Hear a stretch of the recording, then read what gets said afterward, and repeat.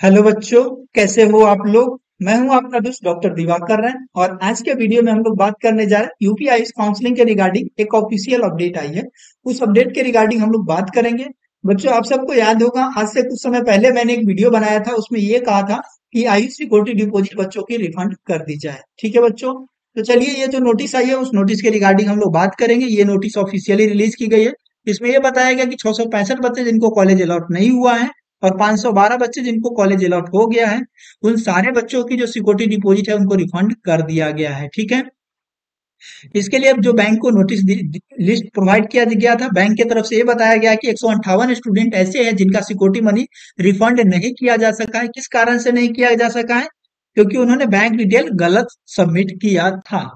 अब सबसे बड़ी सवाल यहाँ पर ये उठती है बच्चों की काउंसलिंग आप सब, अच्छे काउंसलर से ही करा, ठीक है? पैसे जो चार्जेज अलग अलग चीज़ें होती है कुछ काउंसलर है, जैसे हम लोग जो काउंसलिंग कराते हैं, सिर्फ़ नौ सौ निन्यानवे रुपए चार्ज लेते हैं। एक एक हज़ार रुपए मात्र आपको पे करना है और सारा काउंसलिंग प्रोसेस हमारी टीम करेगी, आपको कुछ भी नहीं करना है। तो उसमें आपको गलती होने की कोई चांसेस नहीं है और सिक्योरिटी डिपॉजिट आपको टाइम से वापस मिल जाएगी, ठीक है? अब जो एक बच्चों का नहीं मिला था, उसके रिगार्डिंग क्या बैंक की तरफ़ से कहा, क्या कहा गया? त्रुटियाँ बताई गई है। उक्त के संबंध में संलग्न सूची में अंकित अभ्यर्थियों को सूचित किया जाता है कि वह अपना सही बैंक का विवरण संलग्न प्रारूप में भर भर, भर कर बैंक की पासबुक के प्रथम पृष्ठ की स्कैन कॉपी प्रति के साथ।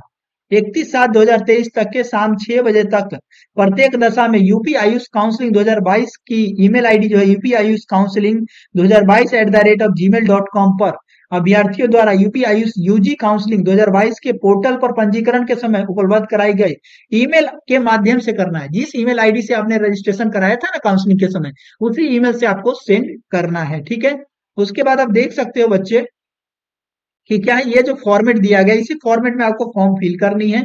यहाँ पर आपको फ़ोटो डालना है अपना, उसके बाद स्टूडेंट का नाम पिता का नाम रोल, नीट का रोल नंबर, नीट का रैंक, धरोहर राशि आपने बीस हज़ार जमा किया था बच्चों, या पचास हज़ार। वो लिखना है, मोबाइल नंबर, पंजीकरण के में उपलब्ध किया गया जो विवरण है, जिस बैंक की जो इरर आपको बताई जा रही है, वो उसका पूरा डिटेल देना है।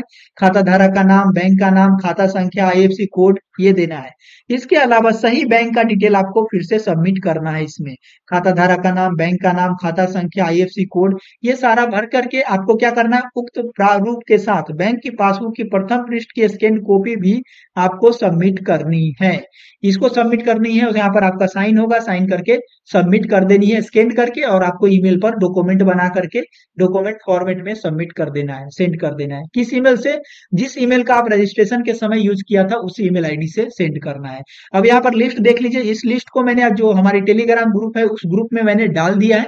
टेलीग्राम आइस काउंसलिंग 2023 के ग्रुप में मैंने डाल दिया, वहाँ पर जाकर के आप देख सकते हो। सारा चीज़ें दिया गया है, ठीक है? तो इसको आप वहाँ पर देख लीजिए। और इसमें भी आपको कोई दिक्कत होती है तो हमारी टीम से आप बात कर सकते हो। इसके कोई चार्जेज आपसे नहीं लिया जाएगा। आपको पूरी हेल्प की जाएगी ताकि जिन बच्चों का किसी कारण पर सिक्योरिटी मनी नहीं आई है, उनके पैसे वापस मिल जाए। ठीक है बच्चों? अगर कोई भी डाउट होती है तो हमारी helpline number nine one five five two two five two nine two, इस नंबर पर संपर्क कर सकते हो। और हमारी जो पेड काउंसलिंग सर्विस है, मात्र नौ सौ निन्यानवे रुपए पे करके हमारी पेड काउंसलिंग सर्विस ले सकते हो। और हमारा जो एप्लीकेशन है द आयुर्वेदिक क्लासेस की लिंक डिस्क्रिप्शन बॉक्स में मैंने डाल दिया है। वहाँ से जाकर आप ज्वाइन कर सकते हो और आयुष काउंसलिंग हमारी सर्विस परचेज कर सकते हो, सिर्फ़ नौ सौ निन्यानवे रुपए पे करके। इस वीडियो को बच्चों, हम लोग यहीं तक रखते हैं। मिलते हैं अगले वीडियो में, तब तक के लिए बाय बाय